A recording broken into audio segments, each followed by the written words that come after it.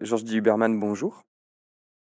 Bonjour. Heu, merci d'avoir accepté cette, heu, cette rencontre et cette, heu, conversation autour de, votre, enfin, un catalogue, votre dernier livre qui est un catalogue et qui est pendant à une exposition, qui se déroule à l'IMEC et qui vous est consacrée. Pour vous présenter très brièvement, vous êtes, philosophe, vous êtes, historien de l'art, de, de formation. Vous êtes aussi écrivain et par ailleurs, vous êtes, heu, professeur et directeur d'études à l'École des hautes études en sciences sociales, heu, à Paris. Heu, à ce jour, nous vous devons plus de 80, heu, ouvrages environ, dont l'essentiel, fut, édité, aux éditions de Minuit. Donc plusieurs titres, que beaucoup de personnes connaissent, enfin, pour en citer que quelques-uns, La peinture incarnée, Ce que nous voyons, Ce qui nous regarde, La ressemblance informe ou Le gai savoir, visuel selon Georges Bataille, Devant le temps, Images malgré tout. Il y a aussi 6 tomes qui sont regroupés, heu, sous le titre, un peu sous la série de L'œil de l'histoire et et encore bien d'autres. Heu, dans votre œuvre, il est toujours question de penser les images, leur statut, leur pouvoir aussi, leur puissance, leur mode de fabrication, leur devenir aussi hein, et leur mode d'apparition.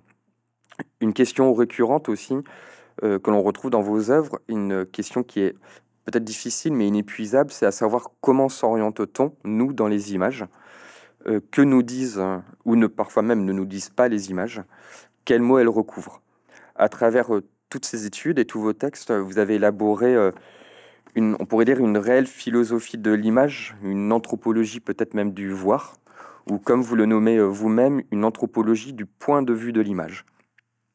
En somme, en fait, vous nous invitez à peut-être mieux regarder, nous invitant également, et là je vous cite, à émanciper les images de notre de nos propres fantasmes, de voir intégral, de classification universelle et de notre savoir absolu.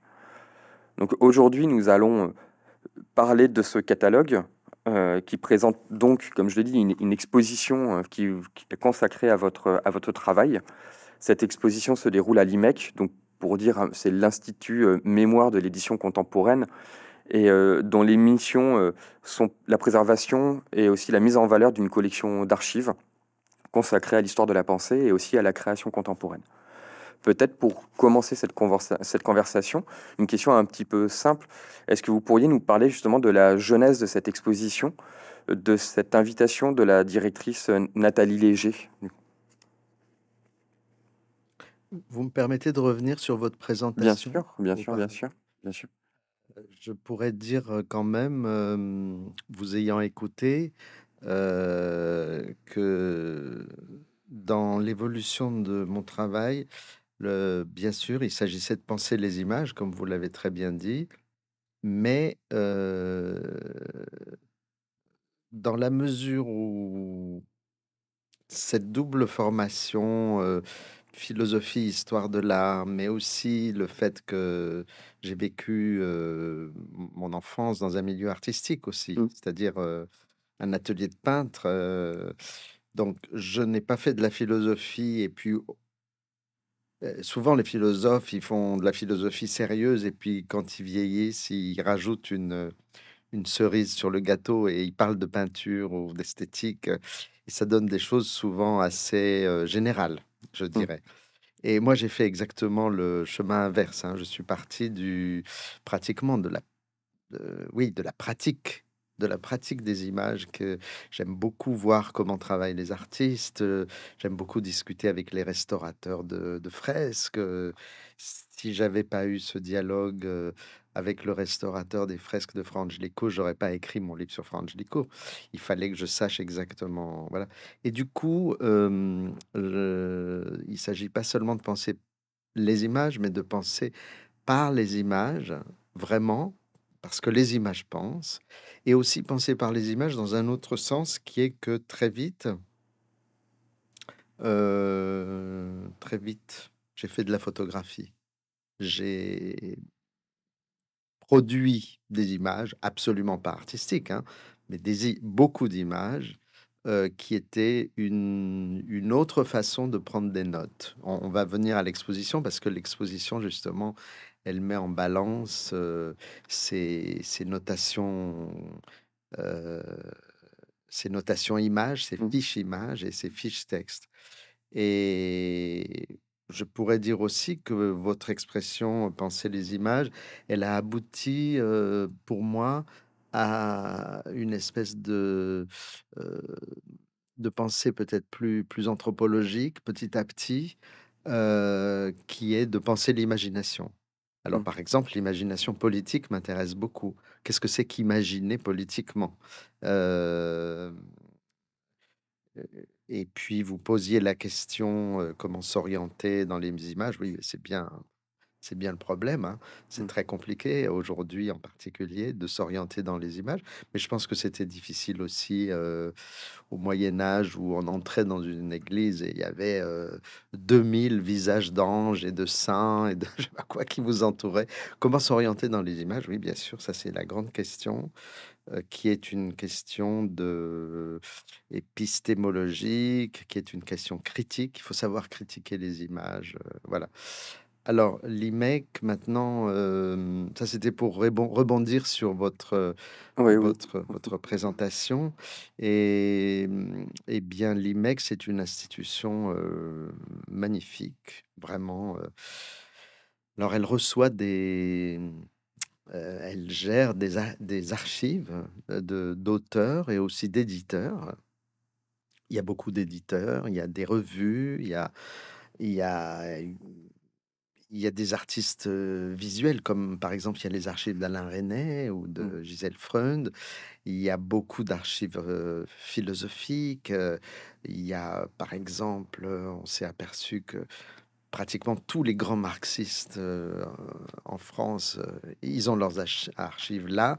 Donc il y a y y une chose il y a un travail magnifique à faire de de de recoupement des archives d'Althusser, de Abinsour, de de de Rancière, de Tony Negri. Enfin, vous voyez ce que je veux dire? Mmh.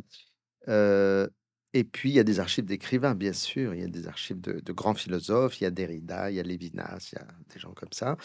Et voilà, moi, j'ai déposé j'ai commencé de déposer mes archives il y a, il y a, je crois 10 ans, à peu près.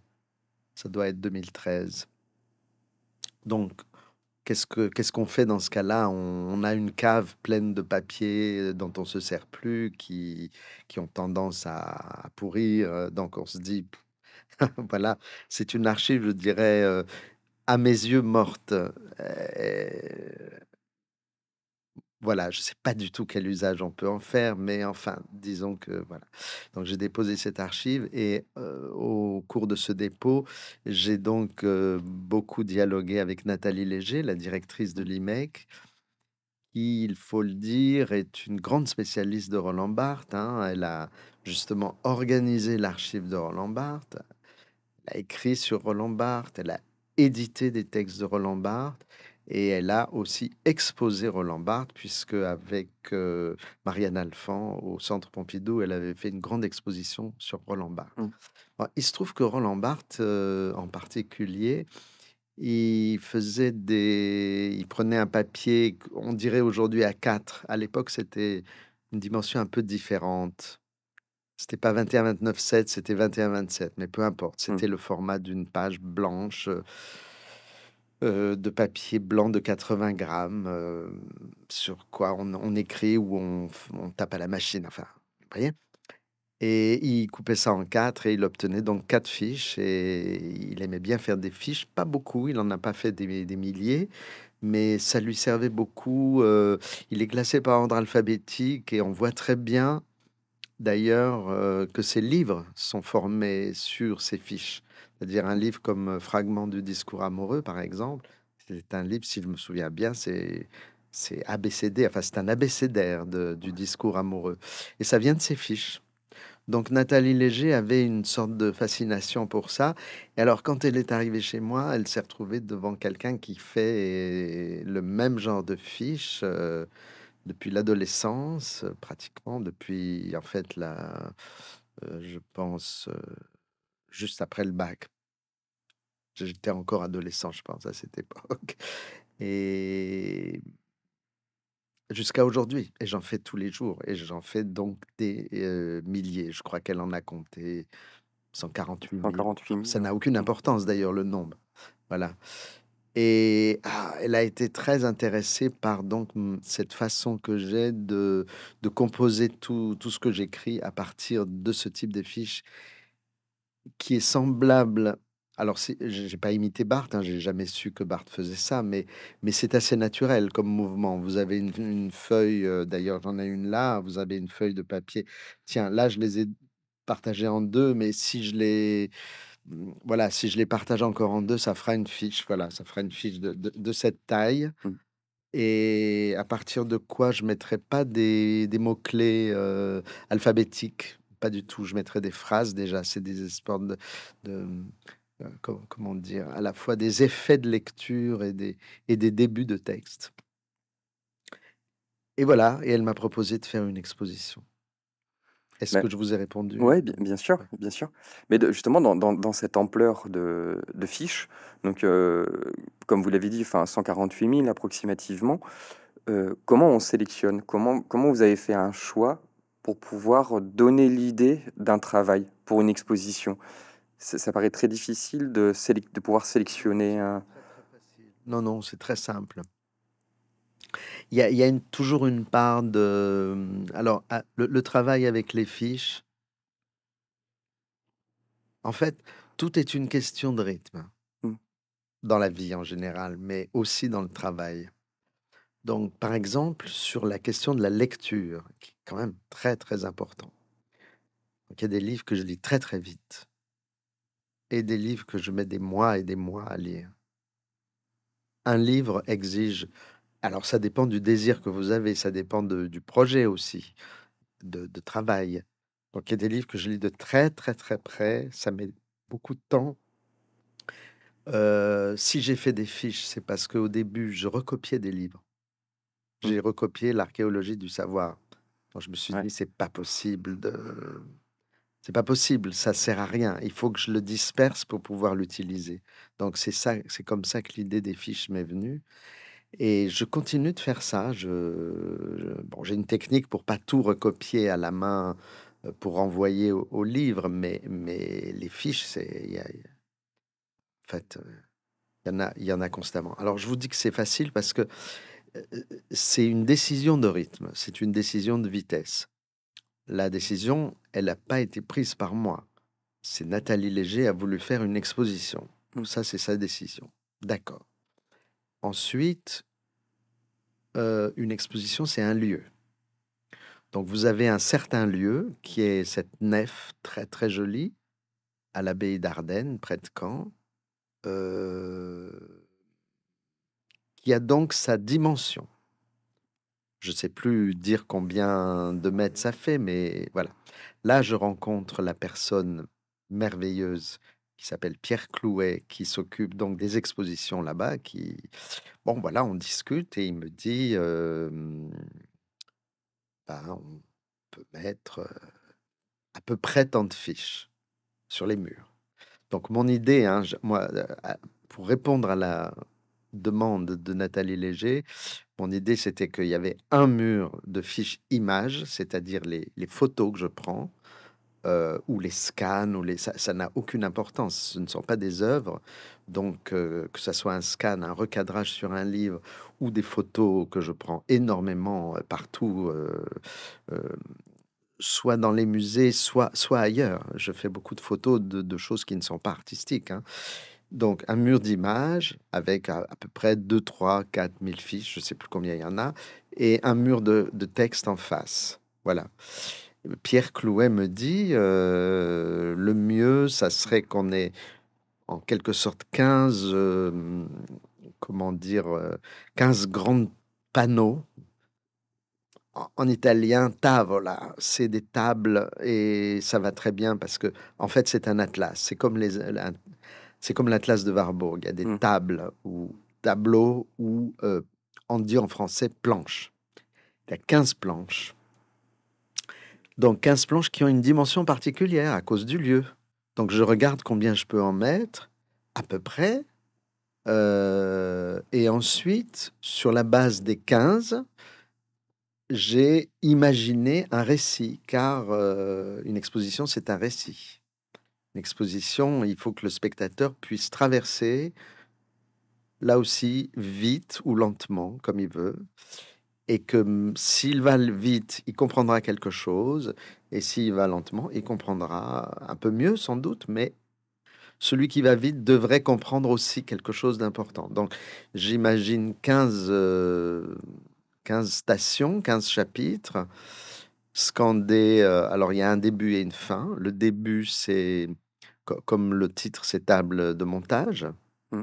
Depuis le début, on a eu ce titre.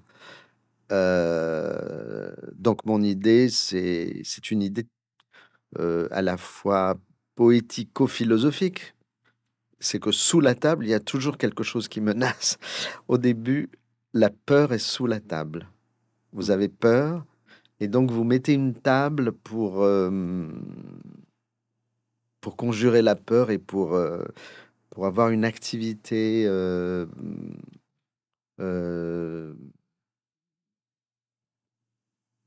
de rêveuse, conceptuelle, érudite, enfin tout ce que vous voudrez, c'est pas pour perdre du temps, c'est pour conjurer la peur. C'est pour peut-être aussi l'étudier, cette peur. Mmh. Très important, conjurer sans, sans l'oublier. Et puis la dernière station, c'est sur la table et on s'amuse. Sur la table, on s'amuse. Sur la table, le jeu. Sous la table, la peur. Sur la table, le jeu. Et j'ai imaginé entre ces deux points extrêmes, donc 13 autres thèmes qui sont une brève autobiographie intellectuelle, pas du tout personnelle, évidemment. Autobiographie, il y a des...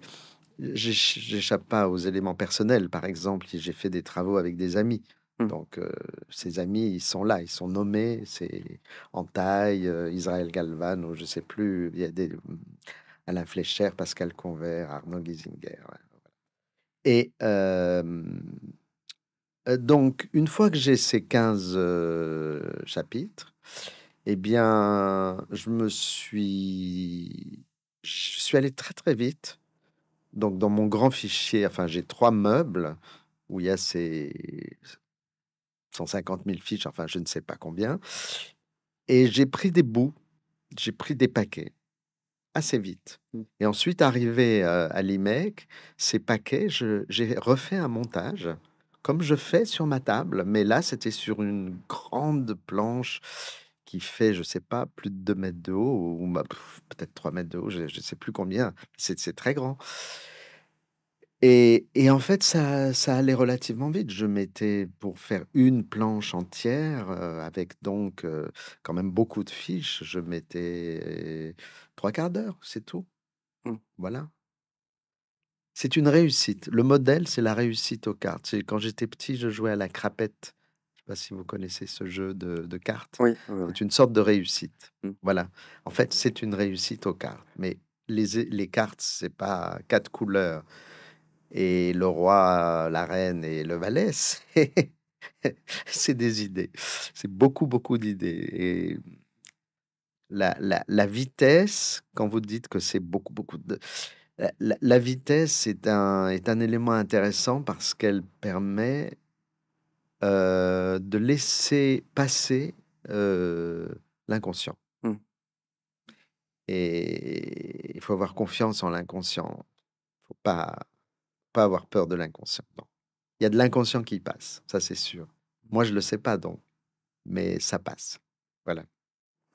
Et effectivement, vous, vous avez nommé le, cette, euh, ce, ce, lien qui est entre le premier chapitre et le dernier, entre la peur de l'enfant, ou euh, d'ailleurs souvent vous revenez aussi à, l'enfance, et, euh, et, à la fin, en fait, vous avez dit conjurer, euh, conjurer quelque chose, conjurer la peur.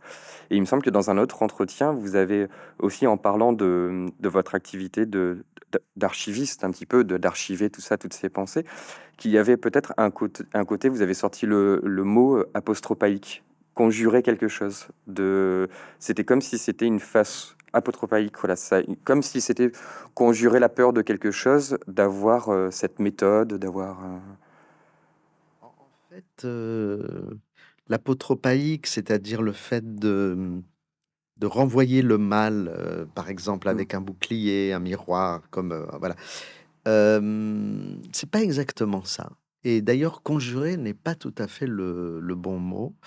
Moi, je dirais plutôt déjouer. Alors, j'aime beaucoup déjouer parce que dans déjouer, il y a, il y a le fait que vous vous jouez à changer les règles d'un jeu qui ne vous, qui vous plaît pas, Mmh. mais vous continuez de jouer.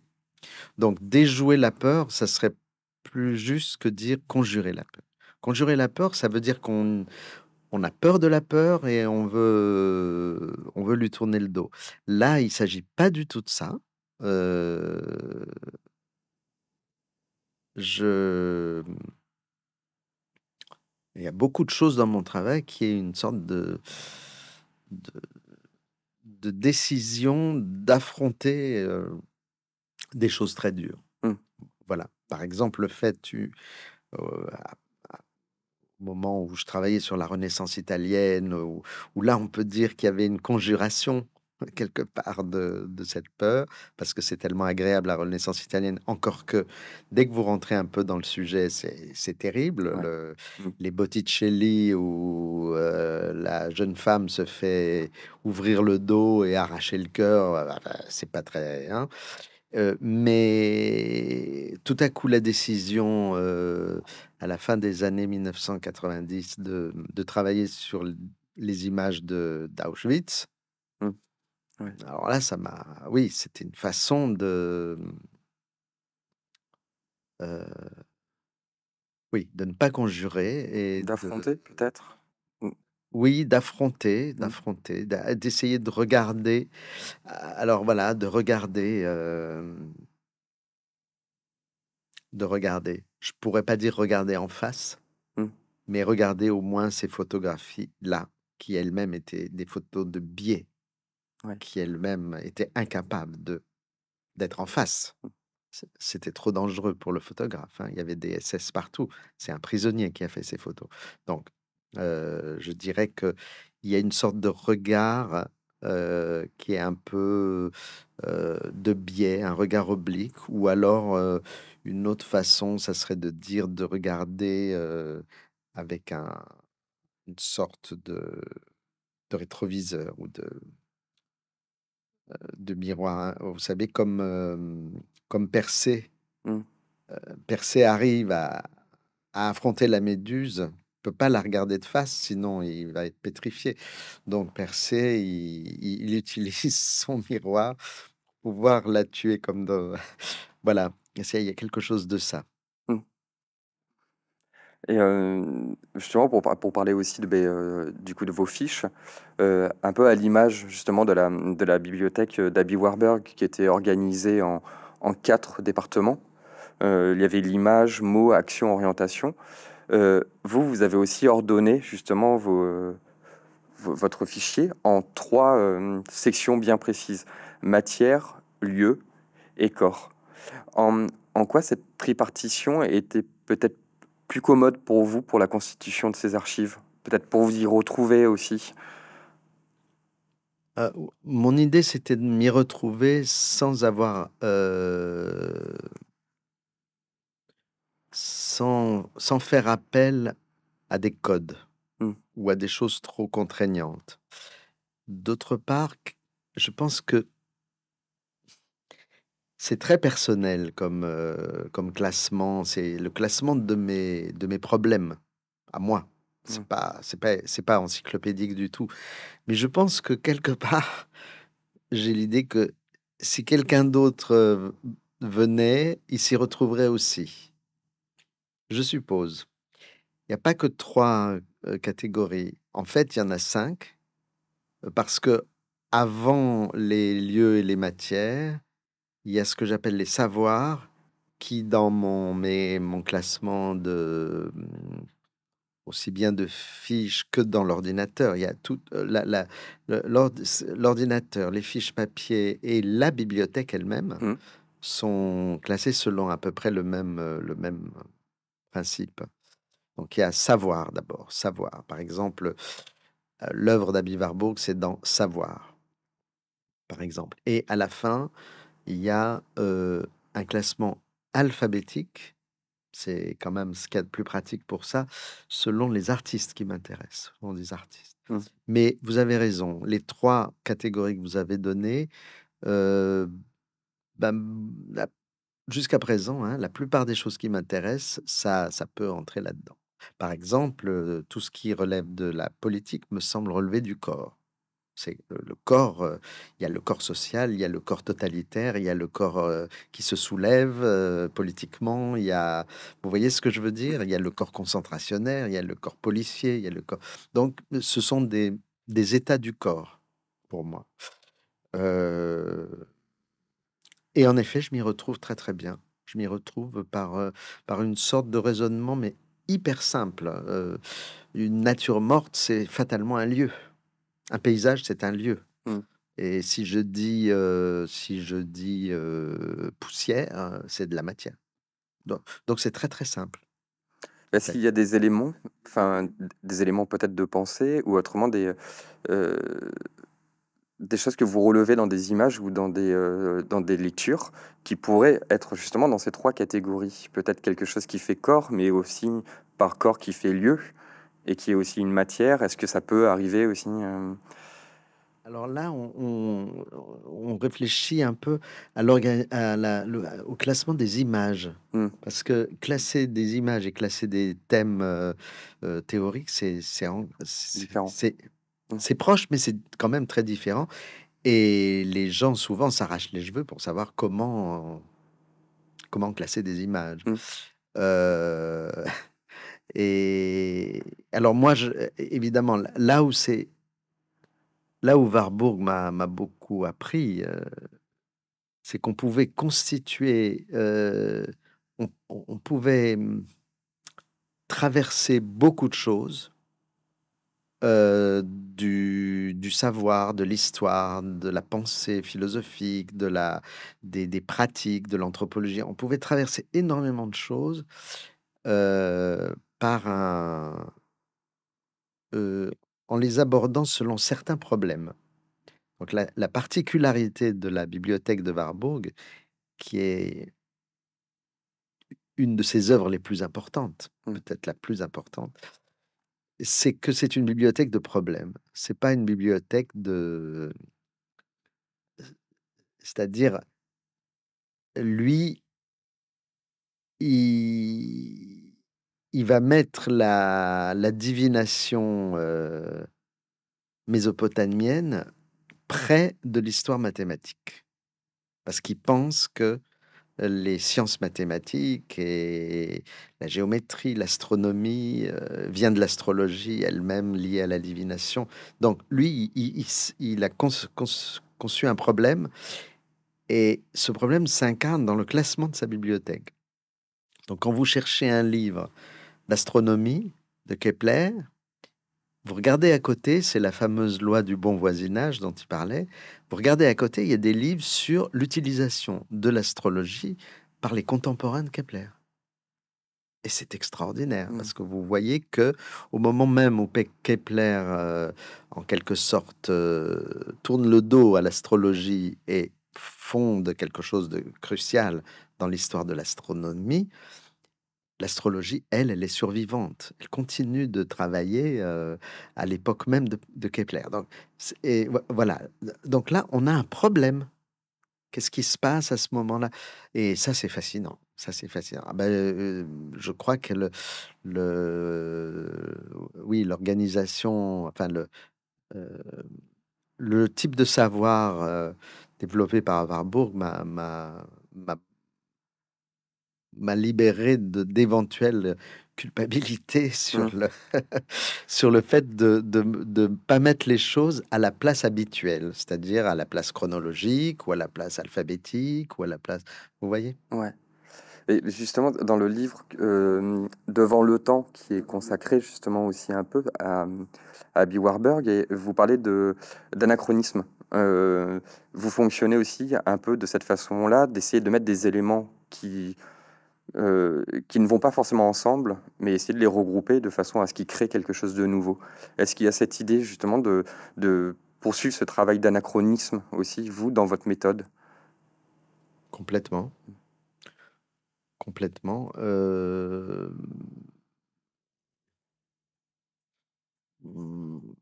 qu'est-ce que, comment je pourrais vous répondre? C'est très simple. Revenons à la table. Quand vous mettez sur votre table un, une image de Vermeer, la dentelière par exemple, Mmh. vous mettez une image de Vermeer, euh, qu'est-ce que vous allez mettre autour? Bon, Vous allez envie de mettre autour d'autres Vermeer, c'est tout à fait possible, bien sûr, c'est légitime. Vous pouvez mettre euh, euh, pouvez mettre la peinture européenne contemporaine de Vermeer. Vous pouvez faire un contraste avec Caravage, par exemple. euh, voilà, c'est encore de l'histoire de l'art euh, standard, si vous voulez, mais c'est très, très légitime et intéressant. Et puis, vous pouvez faire, créer un anachronisme complet. Vous prenez un... un- je ne l'ai pas fait, hein, mais là, je l'imagine. Là. Mm. Euh, ce qui m'avait fasciné chez Vermeer dans la dentelière, c'est que elle a, comme c'est une dentelière, elle a un fil entre les deux mains. Et le fil est représenté exactement comme un fil, avec un pinceau extrêmement fin, peut-être d'un seul poil, très très fin. Et donc il y a une représentation mimétique euh, très rigoureuse et cohérente euh, du fil. Et puis à côté, juste à côté d'elle, il y a un coussin et il y a du fil aussi qui est représenté. Et là, il est représenté de façon totalement différente. Il est représenté comme un- une sorte de liquide qui coule. Le fil blanc, on dirait du lait qui coule, et le fil rouge, on dirait du sang. Euh, il y a une décision picturale de représenter le fil de deux façons différentes. Donc ça, c'est interne à Vermeer. Mais alors cette histoire de fil, euh, il se trouve qu'il y a quelques mois euh, ou un, peu plus d'un an, euh, bon voilà, j'ai un projet d'exposition en Espagne au musée Reina Sofia de, de Madrid. Je veux exposer une œuvre contemporaine. hein. C'est juste un fil dans l'espace. S'appelle Fred Sandbach, l'artiste. C'est magnifique. C'est juste un fil. Mmh. En quoi un fil peut vous bouleverser? Il y a toute une... voilà. Eh ben, si je mets euh, le, le Vermeer à côté du Sandbach, il y aura une analogie évidente, c'est-à-dire il y a deux fils dans les deux cas. Euh, il y aura peut-être une problématique philosophique qui peut faire le pont, c'est-à-dire en quoi un fil peut être esthétiquement émouvant, par exemple.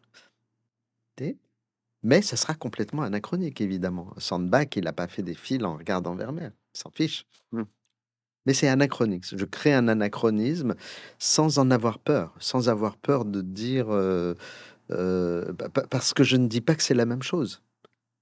Ça serait un mauvais anachronisme si je déduisais l'un de l'autre ou si je... si, ou si je disais que c'était la même chose, que ça signifiait la même chose. Pas du tout.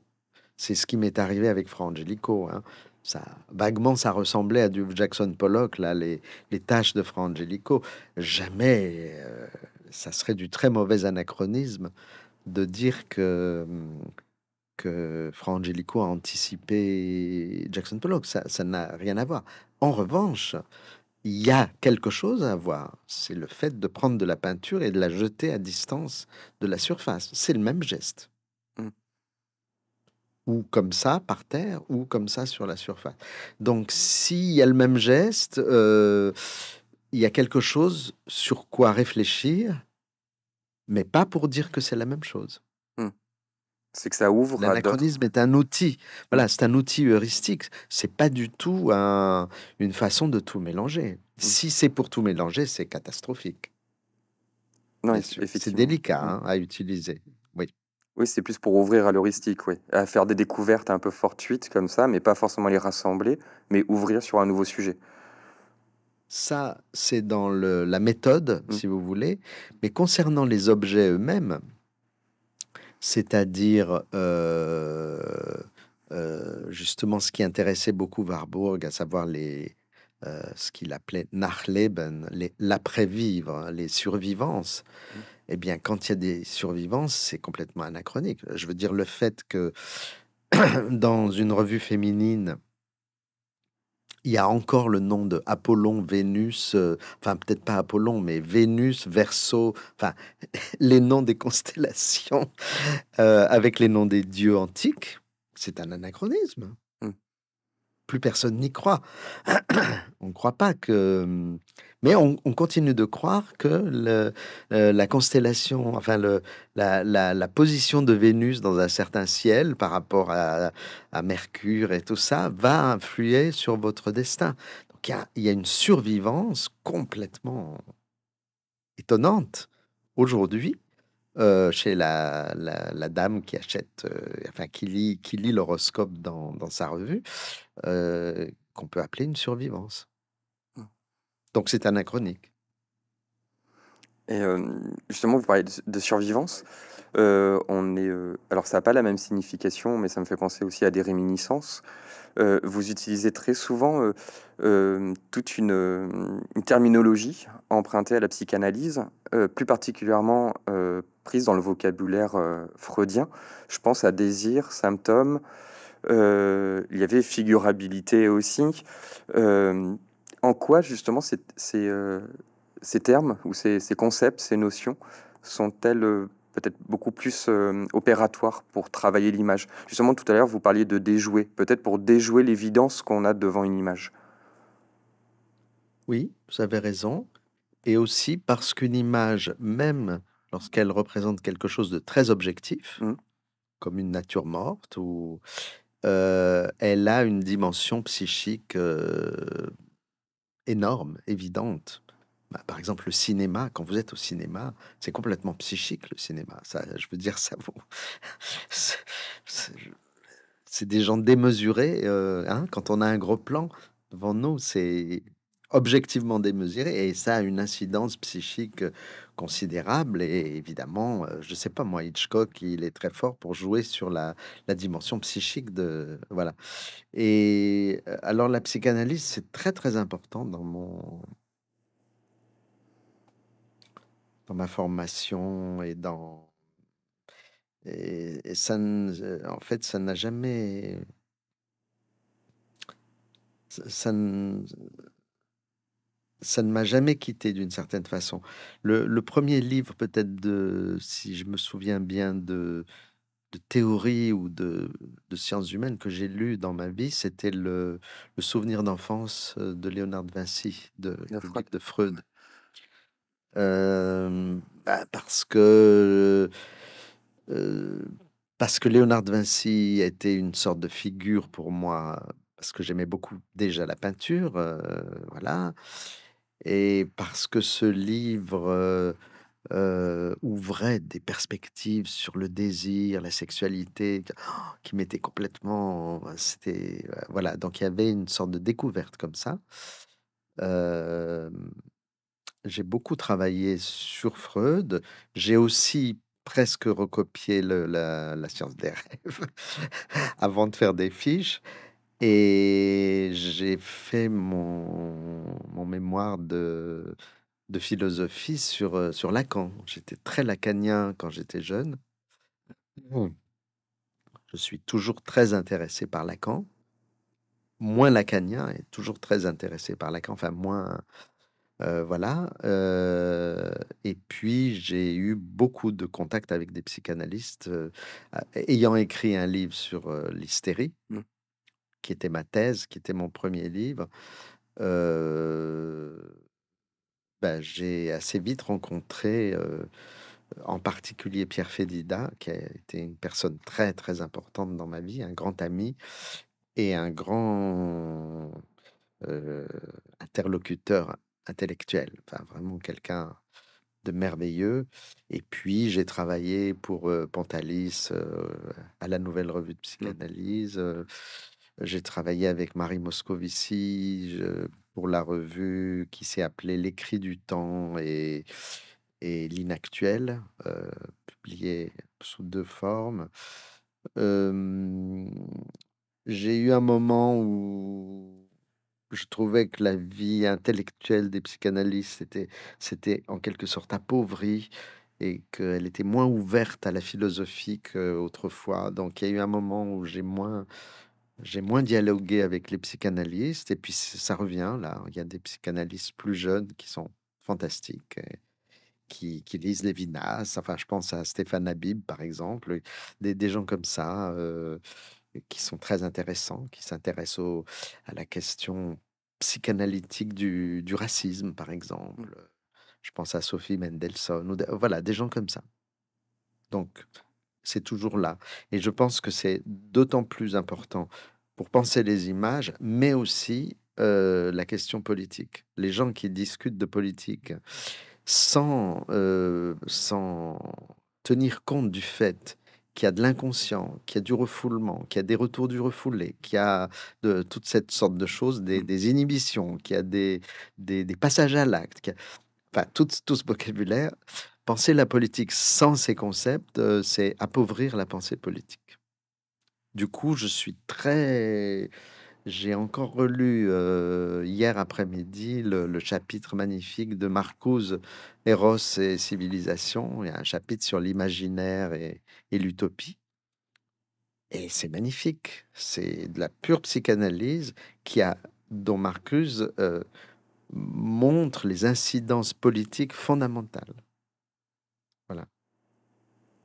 Hem, pour penser la politique, mais aussi pour penser du coup l'image, par exemple, vous vous parlez souvent de symptômes.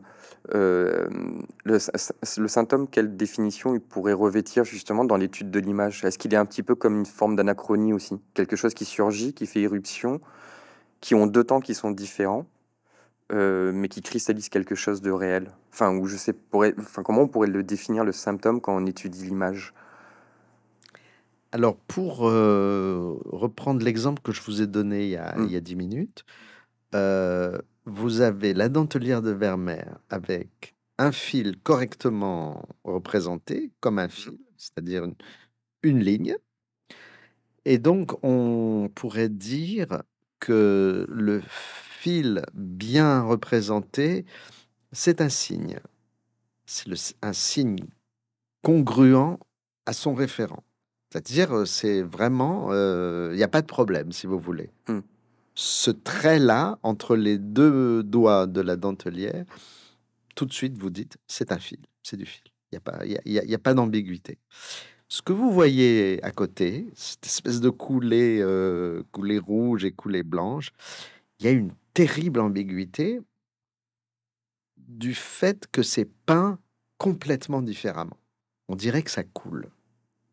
Donc un fil ne coule pas. Un fil, heu, ça se dé ça se déploie, ça se défile, ça se mais mais mais mais ce côté liquide est extrêmement troublant. À ce moment-là, ce n'est plus un signe. C'est quelque chose de tellement amb ambigu et libre en plus. Il y a quelque chose d'une ordre de il y a une attention partout dans le tableau et tout à coup, il y a cette irruption de couleurs, heu, qui fait comme une explosion. Ça, c'est un symptôme. C'est un événement pictural. Alors la différence entre un symptôme comme je l'entends et le symptôme, heu, médical, Mmh. c'est que le symptôme médical, c'est le symptôme d'une maladie, de quel c'est la symptôme de quelque chose. Là, c'est ça tourne un peu c'est comme une tautologie. C'est un symptôme de peinture, c'est tout. C'est pas un symptôme de d'autre chose. C'est c'est je dis pas que c'est j'essaye pas de dire, c'est le symptôme d'une, heu, maladie de Vermeer. Je Mmh. m'en fiche. Bien sûr, c'est pas du tout la question. La psychobiographie ou la psychanalyse appliquée et tout ça, ça ça m'intéresse pas. Mais mais c'est un symptôme au sens, heu, freudien. C'est-à-dire un événement qui vient bouleverser l'actualité de ce que vous voyez. Donc vous voyez une dentelière, elle est elle est elle a son petit fil entre les doigts et tout va bien. Tout à coup, il y a ce cet événement. Mais c'est quoi ça? On on dirait du sang. On dirait que tout à coup, il y a Bon, là, c'est peut-être mon symptôme à moi qui me fait dire que c'est du sang, mais quand même, je vous renvoie au tableau. Mmh. Allez voir, c'est stupéfiant. C'est tellement libre. On dirait qu'il a a a fait couler la peinture et qu'il a a juste mis le tableau comme ça. Je j'exagère, hein, il a il a quand même peint mais heu, donc heu, ça veut dire que c'est un événement qui vient bouleverser la structure, heu, consciente, je dirais, la structure, à laquelle nous sommes, acclimatés. Nous nous sommes habitués, voilà. Ça représente une jeune fille qui fait de la dentelle, OK. Mais là, ça vient bouleverser. Donc c'est un événement, Mmh. au sens philosophique. Deuxièmement si c'est un événement, c'est quelque chose qui vient de de loin. Je veux pas le nommer, hein, je veux pas je veux pas interpréter Vermeer. Je veux juste noter qu'il laisse des endroits dans sa peinture qui sont des événements et qui renvoient à quelque chose d'autre. Il y a de l'altérité. C'est ça un symptôme. C'est-à-dire qu'il y a une déchirure de l'actualité où vous êtes et ce qui remonte de la déchirure, comme on dirait un un volcan. Qui entre en éruption. Il y a tout à coup une éruption. Ça vient donc d'un sous-sol. Ça vient donc de quelque chose de très profond, heu, que quelquefois on peut chercher, on peut nommer, quelquefois non. Voilà. C'est ça un symptôme. OK, très bien et hem, oui, ouais, ouais, oui, clair, très clair, ouais, ouais, et heu C'est sans doute très, mmh, heu, incomplet, hein. Je suis en train de de dire en 2 phrases, j'ai employé ce mot pendant des années et des années. Je l'emploie moins d'ailleurs. Oui, J'ai ouais, moins. c'était, oui, justement pour, pour parler de, voilà, de de ça, de ce langage, de ce vocabulaire aussi un petit peu, freudien que vous utilisez parfois, comme En le tout cas, c'était le mot ça. symptôme était employé de façon freudienne Ouais, voilà. et je Mmh. pense que Freud a complètement modifié, heu, ce qu'on entend par symptôme. Mmh. C'est-à-dire qu'il a modifié la structure même de ce qu'on appelle la sémiologie médicale. C'est ça, ouais.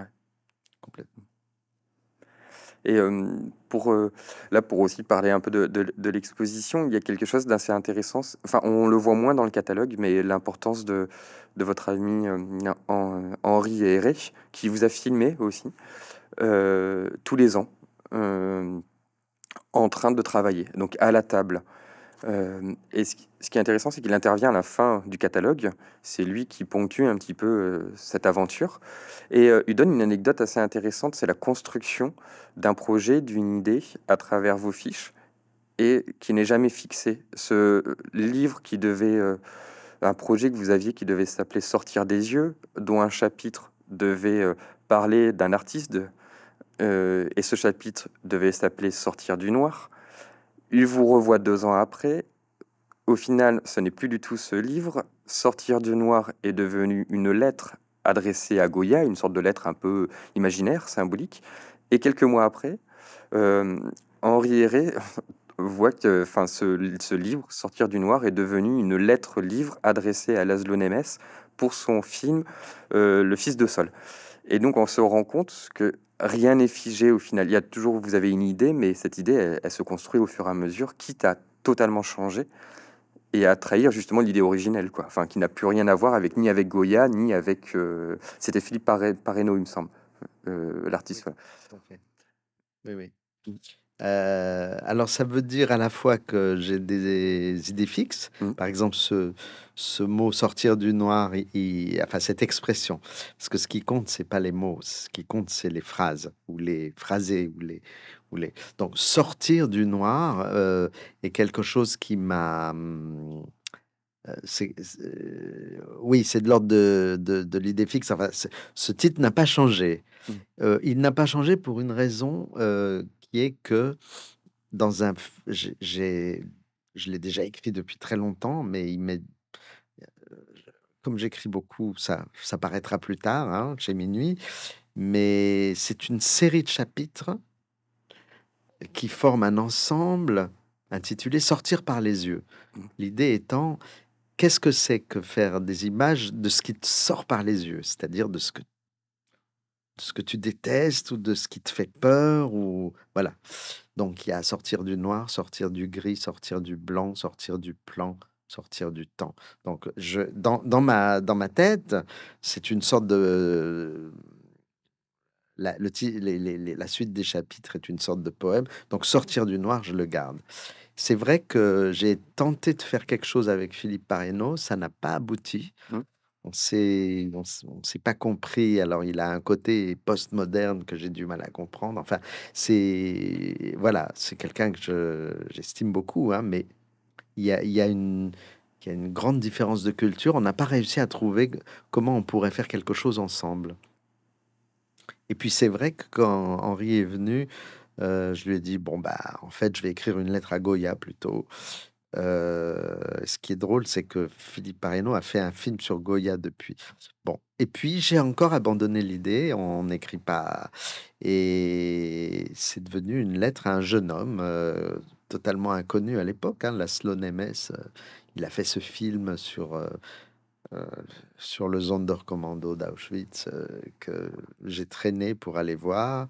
J'étais sûr que j'écrirais rien, et puis finalement, j'ai trouvé qu'il y avait quelque chose à dire sur ce film, vraiment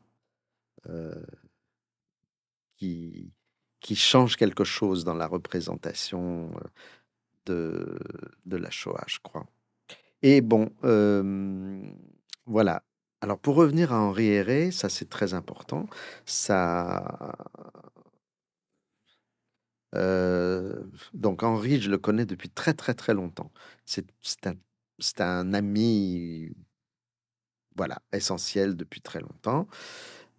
c'est seulement, je crois, depuis 2013, il m'a dit: «Écoute, je viens chez toi chaque année et si tu veux, on discute. Je mets une caméra je mets 2 caméras, une au-dessus de ta table et une, comme ça». C'est des des outils extrêmement simples. Il y a pas de il y a pas tout un chose d'éclairage, il y a, rien du tout. C'est vraiment et comme on est comme des comme des frères, on discute.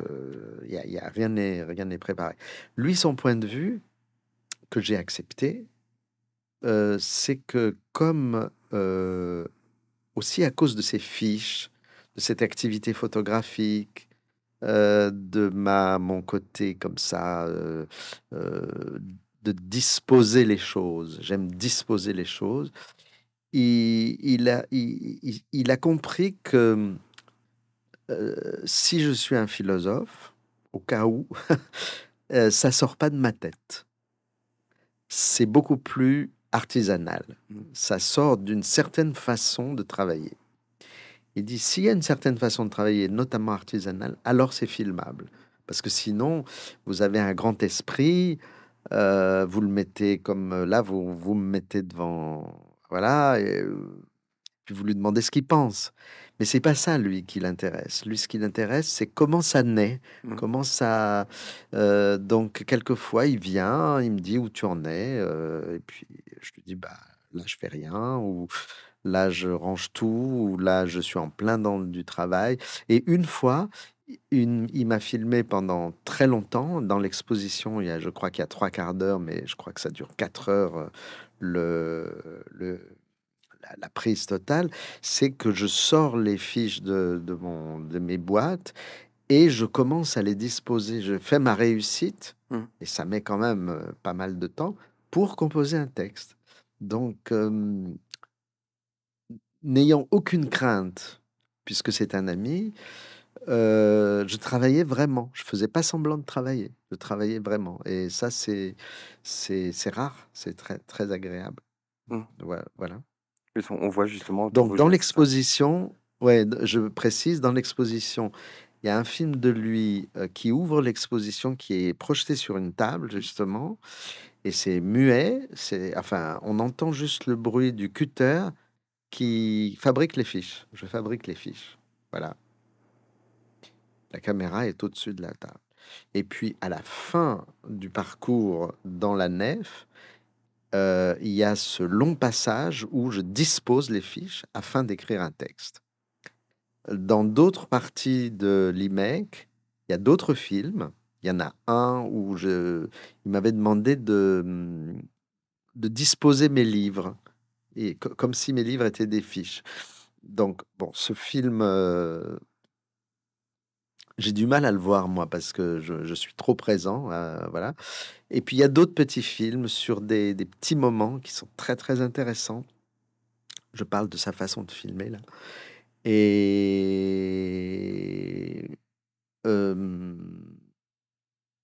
voilà. Mmh. C'est très agréable. C'est une relation d'amitié qui, bon, voilà, on a 60 heures de rush. Enfin, c'est pas des rushs, c'est des choses qu'il faudrait. Euh, euh, c'est une sorte d'archive. C'est plus une archive qu'une. Euh, mais, mais, enfin, c'est son œuvre en même temps. Ouais. Oui, ça fait. On a du mal à le qualifier.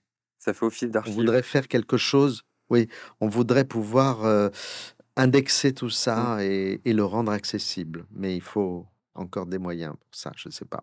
Enfin, il faut quelqu'un qui s'intéresse à ça. Mmh. Lui, il est tout seul, hein, avec son ordinateur. Il est, il est très. Voilà. Et ben, on aurait pu aborder beaucoup, de choses aussi qui sont dans le, catalogue, dans l'exposition. mais là, peut-être pour juste se faire une petite conclusion, je, sais que vous aimez beaucoup la pensée de, Jacques Derrida, et quand on parle, quand parle d'archives, on pense aussi à ses textes, son texte Mal d'archives. Euh, lors d'un entretien aussi qu'il avait euh, passé au Collège Iconique euh, pour l'INA, dont vous, vous avez fait partie aussi. Il y a un volume où justement vous parlez des expériences de, des images. il parle de pulsion d'archives et il avoue en quoi l'archive a été quasiment omniprésente dans son travail, dans sa réflexion. Et j'avais relevé aussi une, une citation et j'ai trouvé ça hum, intéressant parce que vous-même, vous dites à peu près la même chose. Il dit l'archive ce n'est pas une question de passé, c'est une question d'avenir. L'archive ne traite pas du passé, elle traite de l'avenir. Et à un moment, vous dites aussi que euh, justement, il y a certaines, euh, certaines feuilles que vous donnez à des amis, ou déjà, même tout à l'heure, vous, parliez de potentiellement des personnes qui un jour vont découvrir vos archives, vont pouvoir s'y repérer, facilement dans cette ordonnance euh, de matière, lieu, corps. Est-ce que quand vous écrivez des archives aussi, vous pensez, comme Derrida, inévitablement beaucoup plus à l'avenir de cette, de cette archive que justement le, le passé, enfin l'histoire qu'elle raconte? Alors, je dirais que pour réagir spontanément, il faudrait élaborer plus, plus profondément. Mmh. Mais euh, le fait que l'archive concerne euh, l'avenir ou le futur, il s'agit surtout de l'archive des autres. C'est-à-dire, par exemple, là, je suis tout à fait. Euh, je, commence un travail autour de Miguel Abinsour. Donc, voilà, sa, sa fille m'a confié pendant quelque temps euh, les cartes postales, sa collection de cartes postales. C'est très émouvant. C'est très, très émouvant. En plus, je ne l'ai pas connu. Donc, je le connais à travers, euh, en touchant ces cartes postales un peu poussiéreuses et de voir qu'est-ce que c'était l'univers, qu'est-ce qu'il avait envie d'acheter comme carte postale. Voilà. Donc l'archive, elle concerne l'avenir, mais pour les autres. Parce que pour moi, par exemple, un manuscrit n'a strictement aucun intérêt. Et d'ailleurs, je les jetais en général. J'ai arrêté de les déchirer pour pouvoir les offrir à, des amis qui m'offraient des. C'était le cas d'Alain Flécher. Il m'offrait des photos. je me disais qu'est-ce que qu'est-ce que je vais lui offrir en échange de moi? Donc j'ai gardé mes premiers manuscrits pour pour pouvoir faire des cadeaux en fait. Mais mais c'est toujours pour l'autre. L'archive c'est pour l'autre. C'est pour le futur de l'autre. C'est pas pour votre futur à vous. Je pense. Très bien. Mais euh, merci, c'était voilà des, des, petites questions pour présenter euh, cette exposition, mais aussi justement votre, votre travail et puis euh, votre œuvre. On n'a pas assez parlé des images, de, c'est-à-dire des, photos et de l'activité photographique, mais c'est pas grave. Oui, effectivement, plus de ça, il y avait, ouais, j'avais. C'est important parce que c'est à égalité, c'est vraiment à égalité. c'est une espèce de zigzag permanent entre entre. Ça, ça, revient à votre question tout à fait initial, hein, pensez les images, et moi je vous ai répondu, pensez par les images. Mmh. Voilà, c'est très important. Elles se répondent, du coup, euh, le texte et l'image se répondent. Absolument. Langage et image, il faut pas du tout se demander qu'est-ce qui vient avant, qu'est-ce qui vient après, qu'est-ce qui est le plus important, qu'est-ce qui est plus rationnel, qu'est-ce qui est Mmh. plus c'est des fausses questions. Tout ça marche ensemble. Chaque fois qu'on chaque fois qu'on parle, heu, on imagine quelque chose, chaque fois qu'on fait une image, il y a un je dirais un un bain de langage, on regarde avec des mots aussi. Donc heu, Mmh. il faut pas séparer ces ces 2 choses. Le mieux, c'est dans les rêves où la cette fameuse notion de figurabilité de Freud Oui. nous permet de comprendre comment il y a un échange absolument permanent entre, entre, heu, l'image l'image et et le mot. Un éléphant, ça trompe énormément. Donc vous rêvez d'un éléphant, c'est parce que vous vous pensez que quelqu'un vous a trompé. Par exemple, Mmh, c'est l'exemple typique. Voilà. Bon, bah, merci Oui, beaucoup. merci merci beaucoup. Merci à vous pour, heu, pour toutes ces réponses. Merci beaucoup.